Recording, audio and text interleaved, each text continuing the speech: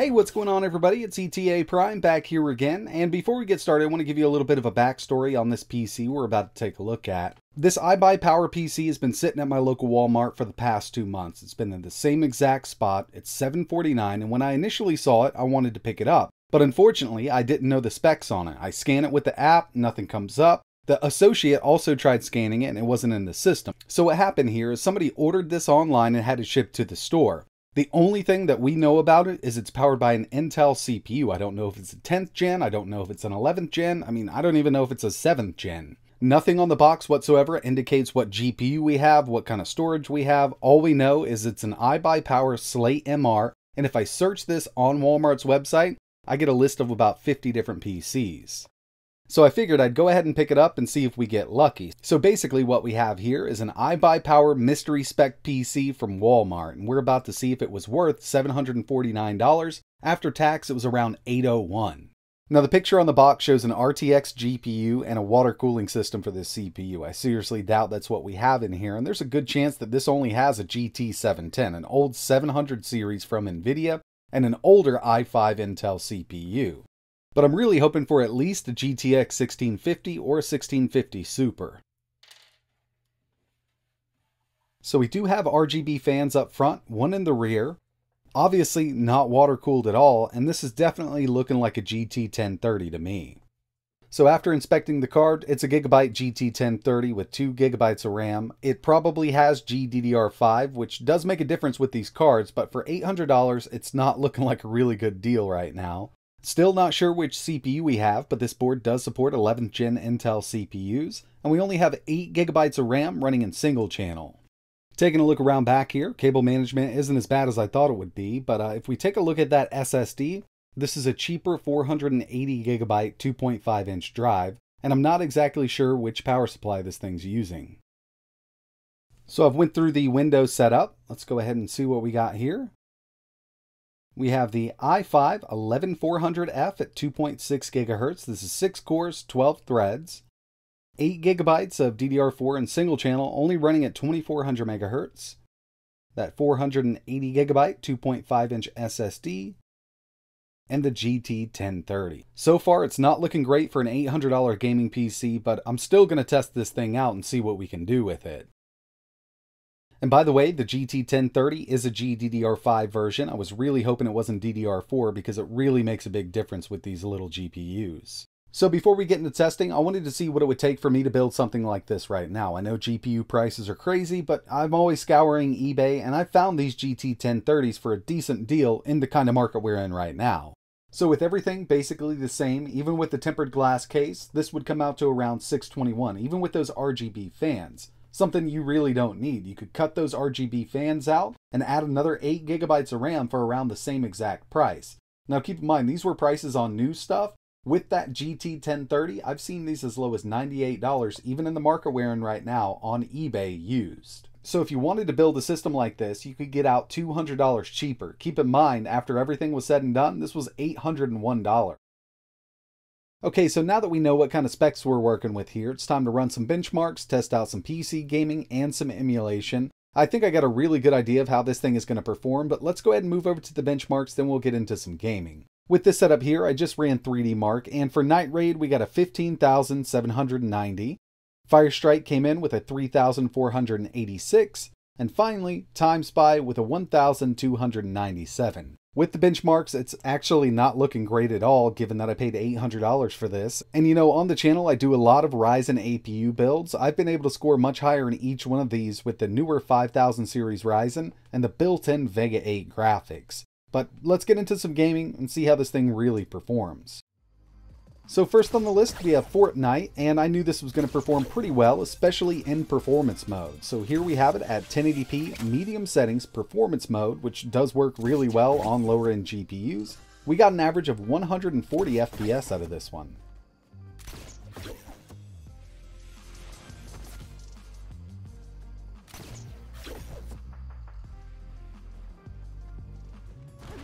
Checking out a fighting game, we have Street Fighter V, 1080p low, and to tell you the truth, I didn't think we were going to be able to do this at 1080p low. I thought I would have to drop this down to 900p, but it does seem to run really well. Every once in a while, I do get a dip down to around 58, but if I didn't have that on, I probably wouldn't ever notice it.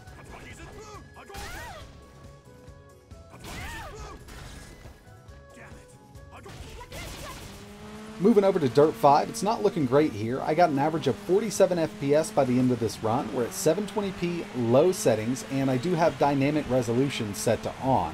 I was hoping for a little better out of this one.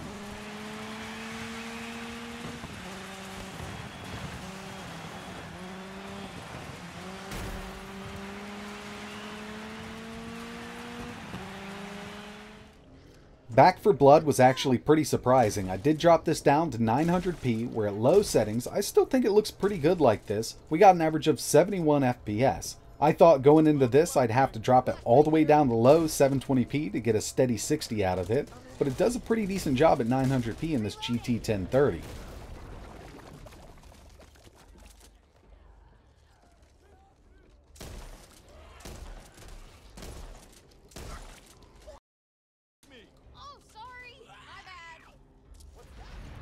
Here's Doom Eternal, 720p, low settings, no resolution scale going on. We got an average of 31 FPS. So, I mean, yeah, I mean, you could lock this at half VSync on a 60 hertz monitor and run it at 30. But when it comes down to it, we're only at 720p, low settings.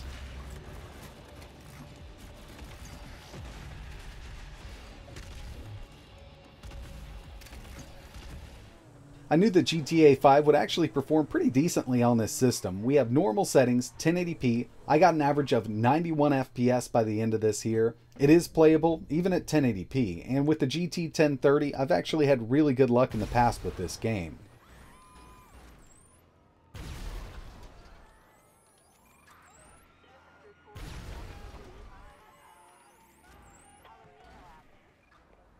And before we move over to some emulation, this is the final PC game I wanted to test. Cyberpunk 2077, 720p, low, 75% resolution scale. We got an average of 26 FPS out of this one.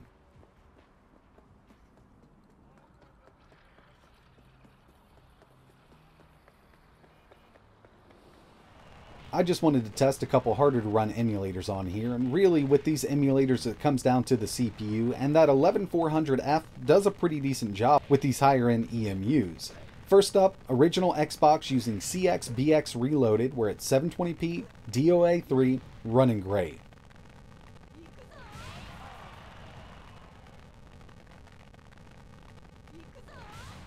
Taking a look at some Wii U emulation, this little setup did a pretty decent job. We have Cemu here with the Vulkan backend where it's 720p, it's running Breath of the Wild at 30, and it'll do it all day. It does really, really well at 30. I did try to go up to 60 with this, but we're only around 48 FPS on average, so 30 is definitely the way to go if you want to do this Wii U emulator, especially with Breath of the Wild. And the final emulator I wanted to throw at this was PS3 using RPCS3, where it's 720p, Vulkan backend, Skate 3 looking really good. We got 60 here. I do notice a dip every once in a while, but this is fully playable on this machine.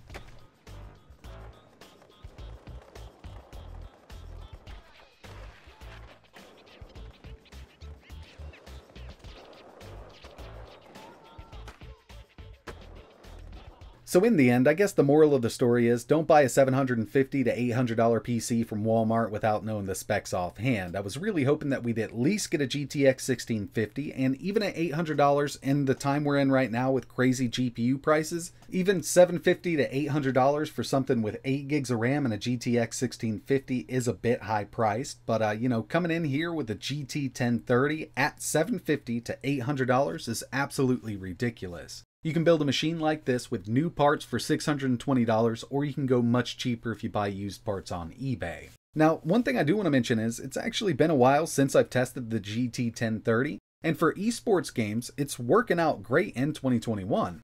It's definitely not the best option, but if you can pick one of these up for around 100 bucks and all you play is like Fortnite, Overwatch, Minecraft, maybe even some Rocket League, then that GT 1030 would be plenty for you. And it also handles those higher end emulators like we saw, and if you wanted to do anything lower like PSP, Dreamcast, Sega Saturn, or even GameCube and Wii upscaled to 1080p, maybe even some of those at 1440, This 1030 will handle it, but if you're looking for an all-out nice gaming machine that'll basically run anything at 1080p 60, then this card is definitely not for you, and I would highly recommend skipping this PC altogether.